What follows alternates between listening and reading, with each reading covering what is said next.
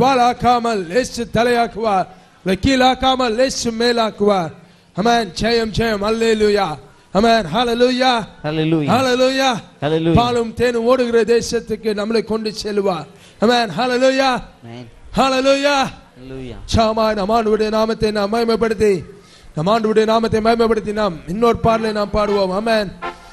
ஜீவதேவன் நல்லவர் அதிசயம் செய்பவர். அமேன்.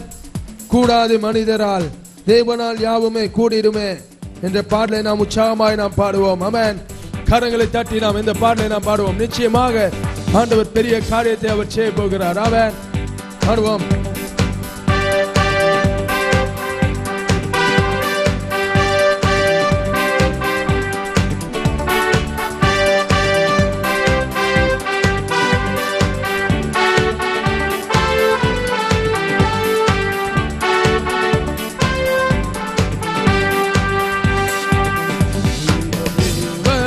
வல்லவர் அதிசயம் செய்பவர் கூடாது மனிதரா. தேவனால் யாவுமே கூடிடுமே கூடாது மனிதரா.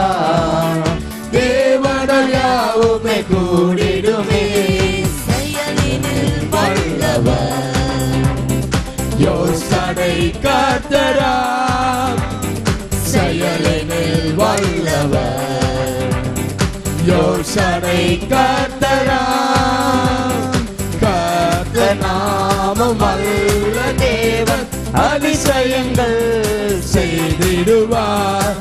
காத்த நாமம் வல்ல தேவன் அதிசயங்கள் செய்திடுவார். ஜீவதேவர் வல்லவர் அதிசயம் செய்பவர். மனிதரா தேவடல்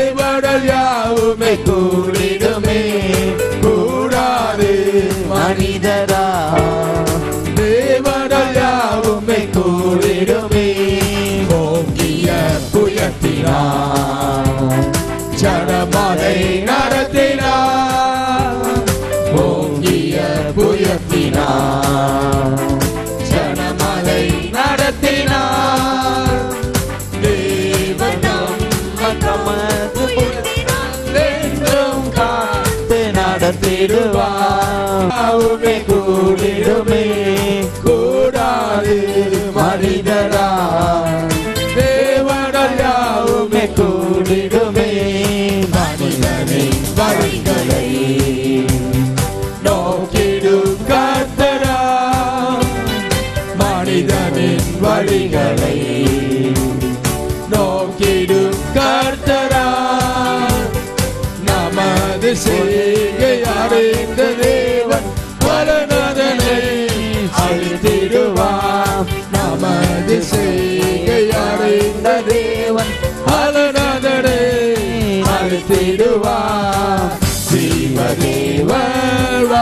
வல்லவர் அதிசயம் செய்பவர் கூடாது மனிதரா. தேவனால் யாவுமே கூடிடுமே கூடாது மனிதரா. தேவனால் யாவுமே கூடிடுமே தோன்றிடும் இயேசுவை சந்திக்க நீகத்தில் தோன்றிடும். இயேசுவை சந்திக்க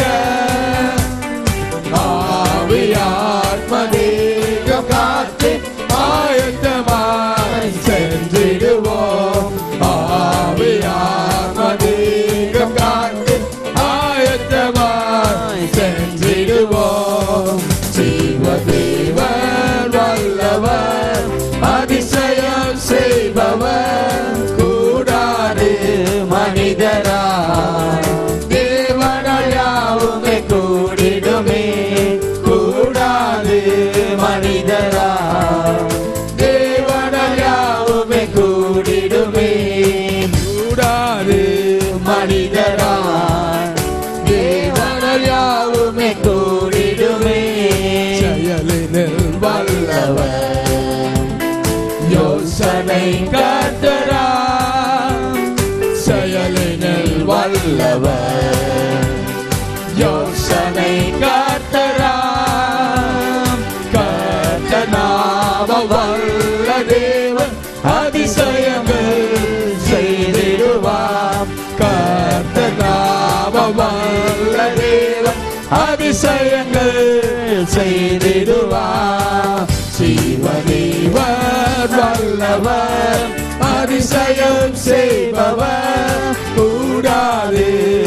மனிதரான் தேவனையாவுமே கூடிடுமே கூடாது மனிதரான் தேவனையாவுமே கூடிடுமே கூடாது மனிதரான் தேவனையாவுமே கூடிடுமே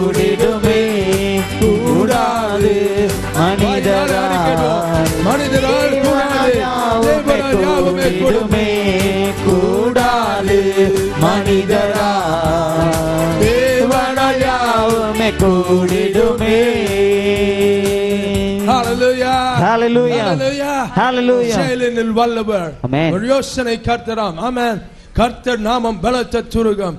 ஆமென் பலனதை தந்திடுவார். ஆமென் ஹalleluya ஹalleluya Hallelujah. கர்த்தர் பெரியவர். பெரிய காரியங்களை செய்கிறவர். நம் பெரிய காரியங்களை நாம் எதிர்பார்ப்போம். ஆமென் நிச்சயமாக ஆண்டவர் பெரிய காரியத்தை செய்வார். ஆமென் ஹalleluya உச்சாமாய் நாம் ஆண்டவருடைய நாமத்தை நாம் மகிமைப்படுத்தி நம்ம இன்னொரு பாடலை நாம் பாடுவோம். அப்படியே பாடுகிற வேளையில நாம் மேலும் நின்று இந்த பாடலை நாம் பாடுவோம். நாம் இடைவிடாமல் ஆராதிக்கும் தேவன் நல்லவரே. நாம் இடைவிடாமல் ஆராதிக்கும் தேவன் வல்லவரே. அமன் ஒரு தப்புவிக்க வல்லவர் தவறாமல் காப்பவர். ஒரு கிருவை என்றும் உள்ளது ஒரு தாயவு என்றும் உள்ளது. என்ற பாடலை நாம் உற்சாகமாய் கரங்களை தட்டி ஆண்டவரை ஆராதிக்கும் வனமாய் சந்தோஷத்தோட நாம் பாடுவோம். அமன் இடைவிடாமல் ஆராதிக்கும் தெய்வன் நல்லவரே. இடைவிடாமல் ஆராதிக்கும் தேவன் பெரியவரே. நாம் இடைவிடாமல் ஆராதிக்கும் தேவன் நல்லவரே ஆராதிக்கும் தேவன் பெரியவரே. தப்புவிக்க வல்லவர் தவறாமல் காப்பவர். தப்புவிக்க வல்லவர். தவறாமல் காப்பவர். அவர் கிருபை என்றும் உள்ளது. அவர் தயவு என்றும் உள்ளது. அவர் கிருபை என்றும் உள்ளது. அவர் தயவு என்றும் உள்ளது நாம் இடைவிடாமல் ஆராதிக்கும் தேவன் நல்லவரே. நாம் இடைவிடாமல் ஆராதிக்கும் தேவன் பெரியவரே. நாம் இடைவிடாமல் ஆராதிக்கும் தேவன் நல்லவரே.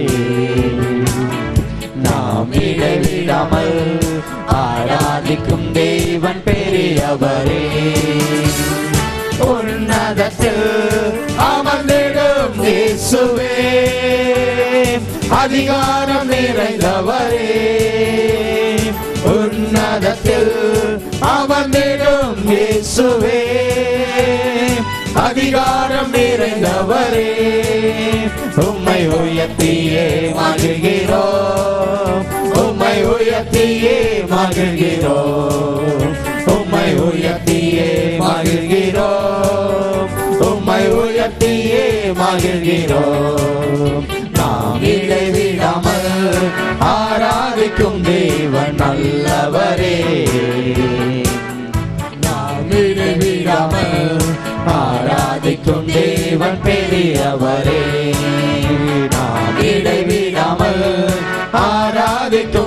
தேவன் நல்லவரே. நாம் ஆராதிக்கும் தேவன் பெரியவரே. சிங்காசனம் அசைத்திடும் இயேசுவே. நினைத்ததை செய்பவரே. சிங்காசனம் அசைத்திடும் இயேசுவே. செய்பவரே.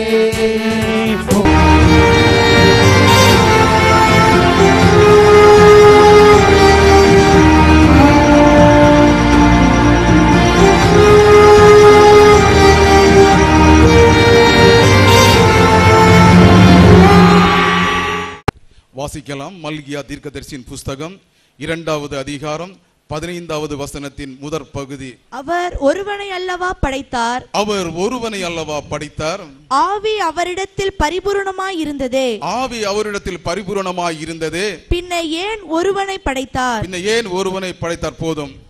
அவர் ஒருவனை அல்லவா படைத்தார்? ஆவி அவரிடத்தில் பரிபூர்ணமாய் இருந்தது. பின்ன ஏன் அவர் ஒருவனை படைத்தார்? இந்த வசனம் ஆண்டவர் நேராக இஸ்ரேல் ஜனங்களுக்கு சொன்ன வார்த்தை அல்ல. தேவனாகிய கர்த்தர் மல்கியா தீர்க்கதரிசிக்கு உணர்த்தி அதை மல்கியா தீர்க்கதரிசி ஜனங்கள் புரிந்து கொள்ளும்படியாக ஜனங்கள் அதை விளக்கும்படியாக எழுதப்பட்ட ஒரு வசனம்தான் இந்த வசனம். அவர் ஒருவனை அல்லவா படைத்தார்? ஆவி அவரிடத்தில் பரிபூரணமாய் இருந்தது பின்ன ஏன் அவர் ஒருவனை படைத்தார் என்று சொல்லி இந்த வசனங்களை இறைமையா தீர்க்கதரிசி எழுதும் போது மூன்று விதமாக எழுதுகிறார். முதலாவது அவர் ஒருவனை அல்லவா படைத்தார் என்று சொல்லி ஒரு படைப்பை குறித்து அங்கு சொல்லுகிறார். இரண்டாவது ஆவி அவரது பரிபூரணமாய் இருக்கிறது என்று சொல்லி அவர் சர்ம வல்லமையுள்ள தேவன் என்றும் அவர் அற்புதங்களின் தேவன் என்றும் அதிசயங்களின் தேவன் என்றும் அவர் சொல்ல ஆகும் கட்டளிட நிற்கும் என்று சொல்லி இந்த இரண்டு காரியங்களை சொல்லிவிட்டு இஸ்ரேல் ஜனங்களை பார்த்து தீர்க்கதரிசி சொல்லுகிற வார்த்தை அவர் ஏன் ஒருவனை படைத்தார் என்று சொல்லி இந்த மூன்றாவது காரியத்திலே ஒரு கேள்விக்குறியாக கேட்கிறார். அவர் ஒருவனை படைத்தாரே அவரிடத்தில் ஆவி பரிபூரணமாக இருந்தது. பின் ஏன் அவர் ஒருவனை படைத்தார் என்ற கேள்வியிலே நாம் வேதத்தை நாம் தியானிப்போம் என்று சொன்னால் அவர் ஏன் ஒருவனை படைத்தார் என்பதை நாம் எளிமையாக கற்றுக்கொள்ள முடியும். முதலாவது அவர் படைப்பை குறித்து சொல்லுகிறார். படைப்பு என்று சொல்லும்போது ஒரு பொருளை உருவாக்குவது படைப்பு அல்ல.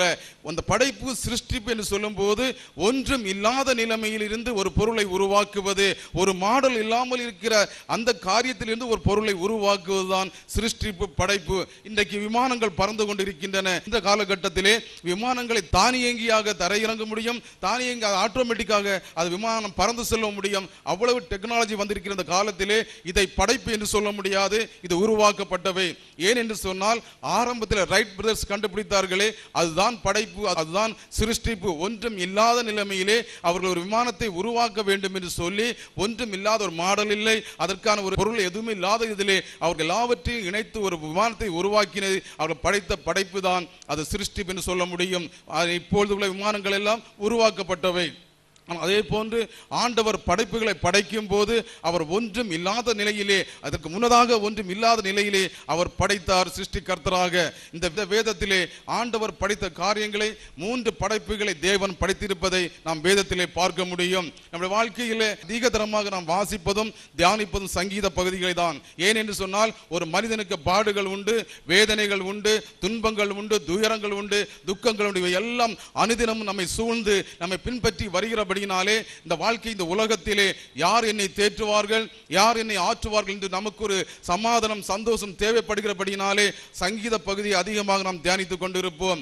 நல்ல நிலைமை இருக்கும்போது ஒரு ஆலோசனை அல்ல ஒரு அறிவுரை தேவைப்படும் போது நீதிமொழியின் புஸ்தகத்தை நாம் வாசிக்கலாம். ஆனால் ஆண்டோட படைப்பை குறித்து சொல்லும்போது ஆதியாகம புஸ்தகத்திலே தேவன் அதை தெளிவாக சொல்லி வைத்திருக்கிறார். அதை ஒரு சிலர் வாசித்திருக்கலாம் ஒரு சிலர் வாசிக்காமல் இருக்கலாம். ஆண்டோட படைப்பு எப்படிப்பட்டது என்று சொன்னால் ஆதியாகமங்களின் புஸ்தகம் ஒன்றாவது அதிகாரம் ஒன்றாவது வசனத்திலே வாசிக்கும் போது ஆதியிலே தேவன் வானத்தையும் பூமியையும் சிருஷ்டித்தார். இப்பொழுது தேவன் வானத்தை சிருஷ்டிக்க வேண்டும் பூமியை சிருஷ்டிக்க வேண்டும். ஒன்றும் இல்லாத நிலைமையிலே உருவாக்குவது என்று நான் சொல்லியிருந்தேன். ஆனால் இப்பொழுது வானம் இல்லை. வானத்தை சிருஷ்டிக்க வேண்டும் படைக்க வேண்டும். பூமியை சிருஷ்டிக்க வேண்டும் அதையும் படைக்க வேண்டும். எப்படி படைப்பது? அது எப்படி தேவன் படைத்தார் என்பதை ஆதியாக மூலின் புஸ்தகம் ஒன்றாவது அதிகாரம் ஆறு ஏழு எட்டு வசனங்களை நாம் வாசிக்க முடியும். பின்பு தேவனாகிய கர்த்தர் ஜல- ஜலத்தின் மத்தி ஜலத்தின் மத்தியில் ஆகாய விரிவு உண்டாக கடவது என்றும் அது ஜலத்தினின்று ஜலத்தை பிரிக்க கடவது என்றும் சொன்னார். தேவன் ஒரு படைப்பு உண்டு பண்ணுவதற்கு முன்னதாக வானத்தை உண்டு பண்ணுவதற்கு முன்னதாக இந்த பூமி எப்படி இந்த உலகம் எப்படி இருந்தது சொன்னால் ஜலத்தினால் தான் நிறைந்து இருந்தது இந்த ஜலத்தில் நிறைந்த இடத்திலே தேவன் வானத்தை உண்டாக்க வேண்டும் என்று சொல்லி முதலாவது ஜலத்தின் மத்தியிலே ஒரு ஆகாய விரிவை உண்டாக்கினார். அதன் பின்னதாக ஜலத்தின் கீழே இருக்க தண்ணீர்களை மே தன் ஜலத்திற்கு ஆகாயவிற்கு மேலே தண்ணீர்களும் ஆகாயவிற்கு கீழேகளும் தண்ணீர் இருக்கும்படி பிரிவு உண்டாக்கினார் தேவன். அதன் பின்னதாக அந்த ஆக ஆகாய்விற்கு தேவன் வானம் என்று பெயர் வைத்தார். அப்படி என்றால் வானத்திற்கு மேலாகவும் தண்ணீர் இருக்கிறது கீழாகவும் தண்ணீர் இருக்கிறது. ஆதியிலே இந்த பூமி உலகமானது தண்ணீரால் நிறைந்து காணப்பட்டது. அதைத்தான் ஆதியாகம புஸ்தகம் ஒன்றாவது அதிகாரம் இரண்டாவது வருஷத்தில் வாசிக்கிறோம். பூமியானது பூமியானது ஒழுங்கு ஒழுங்கின்மையும் வெறுமையுமாய் இருந்தது. ஆழத்தின் மேல் இருள் இருந்தது. தேவாவியானவர் ஜலத்தின் மேல் அசைவாடி கொண்டிருந்தார். தேவ ஆவியானவர் ஜலத்தின் மேல் அசைவாடி கொண்டிருந்த அந்த ஜலத்தை ஆண்டவர் இப்பொழுது மத்தியிலே ஆகாய விரிவை உண்டு பண்ணினார். எட்டாவது சொல்லப்பட்டிருக்கிறது தேவன் ஆகாய விரிவுக்கு வானம் என்று பெயரிட்டார். சாயங்காலமும் விடியற்காலமும் ஆகி இரண்டாம் நாள் ஆயிற்று. தேவன் ஆகாய வீரருக்கு வானம் என்று என்று பெயரிட்டார். இப்பொழுது வானம் சிருஷ்டிக்கப்பட்டது உருவாக்கப்பட்டது எப்படி படைக்கப்பட்டது எப்படி? ஜலத்தின் மத்தியிலே. அதைத்தான் நாம் பார்க்கும் ஜல ஆகாய விரிவிற்கு மேலேவும் ஜலம் இருக்கிறது. அப்படி என்று சொன்னால் நம் நோவாவிட நாட்களில் அதை நாம் பார்க்க முடியும் நோவாவின் காலத்திலே நாற்பது நாட்கள் மழை பெய்வது மழை பெய்த போதிலும் மழை மட்டும் பெய்யவில்லை. வானத்தின் மதகுகள் திறந்தது என்று சொல்லி ஏழாவது அதிகாரம் பதினொன்றாவது வசனத்தில் நாம் பார்க்க முடியும். அப்படியாக வானத்திற்கு மேலாக ஜலம் இருந்தது வானத்திற்கு கீழாக தண்ணீர் ஜலம் இருந்தது. இப்படியாக வானத்தை ஆண்டவர் சிருஷ்டித்தார். அடுத்ததாக பூமியை அவர் சிருஷ்டிப்பதற்கும் படைப்பதற்கு எப்படி படைத்தார் என்று சொன்னால் ஆதியாகமங்களின் புஸ்தகம் ஒன்றாவது அதிகாரம் ஒன்பதாவது வசனம் பத்தாவது வசனத்தை வாசிக்கும் போது பின்பு தேவன் வானத்தின் கீழே இருக்கிற ஜலம் ஓரிடத்தில் சேரவும் வெட்டாந்தரை காணப்படவும் கடவது என்றார். அது அப்படியே ஆயிற்று. தேவன் வெட்டாந்தரைக்கு பூமி என்று பூமி என்றும் சேர்ந்த ஜலத்திற்கு சமுத்திரம் என்றும் பெயரிட்டார். தேவன் அது நல்லது என்று கண்டார். ஆகாய விரிவு கீழாக இருந்த ஜலத்தை ஆண்டவர் கர்த்தர் என்ன செய்தார்? அதை ஓரமாக சேர்ந்து சேர பண்ணினார். சேர்ந்து அதற்கு சமுத்திரம் என்று பெயர் வைத்தார். அந்த வெட்டாந்தரை காணப்பட்டதல்லவா? அந்த வெட்டாந்தரைக்கு பூமி என்று அவர் பெயர் வைத்தார். இப்படியாக தேவன் வானத்தையும் பூமியையும் சிருஷ்டித்தார். ஒன்றும் இல்லாத நிலையிலிருந்து அவர் வானத்தையும் பூமியையும் சிருஷ்டித்தார். இது முதலாவது படைப்பு. இரண்டாவது படைப்பு தேவன் படைக்கிறார். ஆதியாகமங்களின் புஸ்தகம் ஒன்றாவது அதிகாரம் இருபத்தி ஒன்றாவது வசனத்திலே. தேவன் மகா மச்சங்களையும் ஜலத்தில் தங்கள் தங்கள் ஜாதியின்படியே திரளாய் ஜனிப்பிக்கப்பட்ட சகலவித நீர்வாழ் ஜந்துக்களையும் சிறகுள்ள ஜாதி ஜாதியான சகலவித பட்சிகளையும் சிருஷ்டித்தார். தேவன் அது நல்லது என்று கண்டார். இது இரண்டாவது படைப்பு. முதலாவது தேவன் வானத்தையும் பூமி சிருஷ்டித்தார். இப்பொழுது ஆண்டவர் எதை சிருஷ்டிக்கிறார்? சகல நீர் வாழும் ஜந்துக்களையும் சிறகுள்ள ஜாதி ஜாதன சகல பட்சிகளையும் ஆண்டவர் சிருஷ்டித்தார். இது இரண்டாவது சிருஷ்டிப்பு. நாம் நினைக்கலாம் ஒருவேளை உலகத்திலே ஆண்டவருடைய ஆசீர்வாதம் முதலாவது நமக்கு தான் வந்தது என்று சொல்லி இல்லை. நாம் இருபத்தி ரெண்டாவது வசனத்திலே வாசிக்கும் போது தேவன் அவைகளை ஆசீர்வதித்து நீங்கள் பழுகி பெருகி சமுத்திர ஜலத்தை நிரப்புங்கள் என்றும் பறவைகள் பூமியில் பெருக கடவது என்றும் சொன்னார். ஆசீர்வாதம் முதலாவது ஆசீர்வாதம் யாருக்கு வந்தது என்று சொன்னால் சமுத்திர ஜலத்தில் உள்ள மச்சங்களுக்கும் பட்சிகளுக்கும் தான் பறவைகளுக்கு தான் ஆசீர்வாத தேவன் கட்டளையிட்டார். இந்த இரண்டு படைப்புகளை படைத்த தேவன் இதை எப்படி படைத்தார் சிருஷ்டித்தார் என்று சொன்னால் அவருடைய விருப்பத்தின்படி அவர் எண்ணினபடி அவர் விரும்பினபடியாக இந்த இரண்டு படைப்புகளையும் அவர் படைத்தார். மூன்றாவது ஒரு படைப்பை ஆண்டவர் படைத்தார். அவர் விரும்புகிற அவர் விரும்பினபடி அதை படைக்கவில்லை. அவர் இருக்கிற வண்ணமாகவே படைத்தார் என்பதை ஆதியாகமங்களின் புஸ்தகம் ஒன்றாவது அதிகாரம் இருபத்தி ஏழாவது வசனத்தில் பார்க்க முடியும். தேவன் தம்முடைய சாயலாக மனுஷனை சிருஷ்டித்தார். அவனை தேவ சாயலாகவே சிருஷ்டித்தார். ஆணும் பெண்ணுமாக அவர்களை சிருஷ்டித்தார். இந்த மூன்றாவது படைப்பை ஆண்டவர் விரும்பினபடி படைக்கவில்லை. இவைகள் இவர் இப்படித்தான் இருக்க வேண்டும் இப்படித்தான் செயல்பட வேண்டும் இவர்களை இந்த நிலையை தான் வைக்க வேண்டும் என்று சொல்லி தேவன் என்ன செய்யவில்லை படைக்கவில்லை. அவர் இருந்த வண்ணமாக அவர் எப்படி இருந்தாரோ அவருடைய சாயலாகவே மனிதனை படைத்தார். நாம் ஒருவேளை அவரை பார்த்திருக்க முடியாது. ஆனால் அவர் நம்மை அறிந்திருக்கிறார். அவருடைய சாயலிலே நம்மை படைத்திருப்பதை இதாம் வேதத்திலே வாசிக்கும் போது ஒன்று யோவான் மூன்றாவது அதிகாரம் இரண்டாவது வசனத்திலே பார்க்கும்போது பிரியமானவர்களே இப்பொழுது தேவனுடைய பிள்ளைகளாய் இருக்கிறோம் இனி எவ்விதமாய் இருப்போம் என்று இன்னும் வெளிப்படவில்லை. ஆகிலும் அவர் வெளிப்படும்போது அவர் இருக்கிற வண்ணமாகவே நாம் அவரை தரிசிப்பதினால் அவருக்கு ஒப்பாய் இருப்போம் என்று அறிந்திருக்கிறோம். இப்பொழுது நாம் இப்பொழுது நாம் தேவனுடைய பிள்ளைகளாக இருக்கிறோம். ஆண்டவராக இயேசு கிறிஸ்துவை ஏற்றுக்கொண்டு நாம் அவருடைய அவருடைய பிள்ளைகளாக இருந்து கொண்டு இருக்கிறோம் ஆனால் அவரை நமக்கு தெரியாது தேவனுக்கு நம்மை தெரியும். ஆனால் ஒரு காலம் வரும் ஆண்டவராக இயேசு கிறிஸ்து நியாயாதிபதியாக இந்த பூமிக்கு கடந்து வரும்போது அவர் வரும்போது அவர் இருக்கிற வண்ணமாகவே எப்படி நம்மை சிருஷ்டித்தாரோ அதே போன்று அவர் இருக்கிறதை நாம் பார்க்க முடியும் என்று நாம் நம்பி இருக்கிறோம் அதனால தான் தேவ சாயலாக ஆண்டவர் இந்த ஆதாமை ஒரு மனிதனை படைத்தார். அவர் பின்னதாக ஒரு மனிதனை படைப்பதற்கு என்ன காரணம்? அதான் மல்லிகா தீர்க்கதரிசி சொல்லுகிறார். அவர் தே ஒருவனை அல்லவா படைத்தார்? ஆவி அவரது பரிபூர்ணமாக இருந்தது. பின் ஏன் அவர் ஒருவனை படைத்தார்? வேதத்திலே ஆதியாகமங்களின் புஸ்தகம் முதல் அதிகாரம் முழுவதும் பார்க்கும்போது ஜெனிப்பிக்க கடவுது என்றார். ஜெனிப்பிக்கப்பட்டது முளைப்பிக்க கடவுது என்றார். அது முளைத்து வந்தது பிறப்பிக்க கடவுது என்றார். பிறந்து வந்தது எல்லாம் அவர் வார்த்தையினாலே அற்புதங்களையும் அதிசயங்களையும் செய்து உருவாக்கினார். ஆனால் மனிதனை மாத்திரம் படைக்கும் போது தேவ சாயலாக அவர் ஒரு மனிதனை படைத்தார். அதனாலே தான் தான் மல்லிகா தீர்க்கதரிசி இஸ்ரவேல் ஜனங்களை பார்த்து கேட்கிறார். அவர் ஒருவனை அல்லவா படைத்தார். ஆவி பரிபூரணமாய் இருந்தது. உண்டாக கடவுது பெருக கடவுது என்று சொன்னால் மனிதன் பெருகி இருப்பானே மனுஷி பெருகி இருப்பார்களே பின்ன ஏன் அவர் ஒருவனை படைத்தார் என்று சொல்லி ஒரு கேள்வியை கேட்டுவிட்டு அதற்கு பதில் கொடுக்கிறார். தொடர்ந்து வாசிக்கும் போது ஆவி அவர்களிடத்தில் பரிபூர்ணமாய் இருந்ததே. பின்ன ஏன் தேவன் ஏன் ஒருவனை படைத்தார்? தேவ பக்தி உள்ள சந்ததியை போதும் அது. தேவ பக்தி உள்ள சந்ததியை பெறும்படிக்கு ஆண்டவருக்கு வந்து ஒரு ஜனம் தேவைப்பட்டது. ஆதாமிலிருந்து சந்ததி உருவாகி அந்த சந்ததி படைப்பின் காரணமாகிய கர்த்தருக்கு அந்த சந்ததி உரிய சொந்தமாக இருக்க வேண்டும். சந்ததி எப்படி இருக்க வேண்டும் என்றால் அது தேவ பக்தி உள்ள சந்ததியாக இருக்க வேண்டும் என்று சொல்லி விரும்பிதான் தேவன் ஒருவனை இந்த உலகத்திலே படைத்தார். ஆதாம் மூலமாக அவருக்கு பிரியமான அவருக்கு விருப்பமான ஒரு சந்ததி இருந்து அது தேவ பக்தி உள்ள சந்ததியாக இருக்க வேண்டும் என்று கர்த்தர் விரும்பிதான். ஒரு மனிதனை படைத்தார். தேவ பக்தி என்று சொன்னால் ஒருவேளை நான் என்னை குறித்து சொல்லும்போது நான் உங்களிடத்தில் பிரசங்கம் செய்து கொண்டிருக்கிற நான் நான் ஒரு தேவ பக்தி உள்ள மனுஷன் என்று என்ன நிலைமை இந்த நிலைமை வைத்து யாரும் சொல்லிவிட முடியாது. நான் அந்த அனுதினமும் ஓய்வு நாள் பாட ஓய்- ஓய்வு நாளிலே ஆலயத்திற்கு நல்ல உடைகளை உடுத்து வேதத்தை சுமந்து கொண்டு போகிறான். இவன் ஒரு பக்திமான் என்று யாரும் சொல்லிவிட முடியாது. என்னுடைய கிரியைகளை வைத்து நான் செய்கிற காரியங்களை வைத்து நான் பக்திமான் என்று யாரும் சொல்ல முடியாது. என் நான் பேசுகிற வார்த்தைகளை வைத்து நான் தேவ பக்தியாக இருக்கிறேன் சொல்லி இதை வைத்து யாரும் கணித்து விட முடியாது. ஏனென்றால் ஆண்டவரை அறியாதவர்களும் நற்கிரியைகளை செய்கிறார்கள் அவர்களும் ஒழுக்கமாக இருக்கிறார்கள். இதை வைத்து நான் தேவ பக்தி உடன் சொல்லுவேன் என்றால் நான் என்னை நானே ஏமாற்றி கொள்ள கொண்டவனாகத்தான் காணப்படுவேன். தேவ பக்தியின் ரகசியம் என்ன என்பதை வேதம் நமக்கு கற்றுக் கொடுக்கிறது. தெய்வ பக்தி ரகசியம் ஒன்று தீமத்தின் புஸ்தகம் மூன்றாவது அதிகாரம் பதினாறாவது வசனத்திலே பார்க்க முடியும். தேவ பக்தியின் ரகசியம் என்ன என்பதை. அன்றியும் தேவ பக்திக்குரிய ரகசியமானது யாவரும் ஒப்புக்கொள்கிறபடியே யாவரும் ஒப்புக்கொள்கிறபடியே அது மகிமையுள்ளதாய் காணப்படுகிறது. தேவன் மாம்சத்திலே வெளிப்பட்டார் ஆவிலே நீதியில் என்று விளங்கப்பட்டார் தேவ தூதர்களால் காணப்பட்டார் புத ஜா- புற ஜாதியில் பிரசங்கிக்கப்பட்டார் உலகத்திலே விசுவாசிக்கப்பட்டார் அவர் மகிமையிலே ஏறெடுக்கப்பட்டார் என்று சொல்லப்பட்டிருக்கிறது.